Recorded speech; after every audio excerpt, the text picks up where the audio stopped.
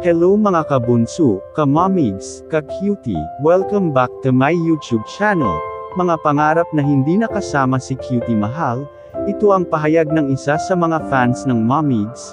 Masakit man daw isipin pero hindi na nga makakasama ni Bunso Migs Molino si Cutie Mahal sa kanyang mga pangarap na unti-unti nang natutupad, matatandaan buong nabubuhay pa si Cutie Mahal ay pangarap na talaga ng dalawa na makapirma ng kontrata si Bunso Migs Molino sa GMA para na din magkasama silang gagawa ng teleserye na syempre ay kapupulutan ng aral, at maging isa na din sa libangan ng mga fans ng Mamigs at lalo na sa mga OFW na manunood.